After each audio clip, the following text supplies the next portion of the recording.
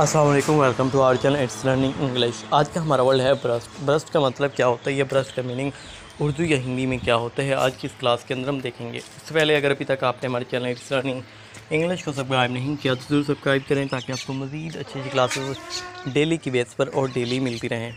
इस वर्ड के स्पेलिंग होंगे B R U S T burst burst का मतलब होता है फट पड़ना। ब्रश का मतलब फट पड़ना होता है। वीडियो पसंद आया हो तो लाइक करें और चैनल को सब्सक्राइब करके इन वीडियोज़ को शेयर कर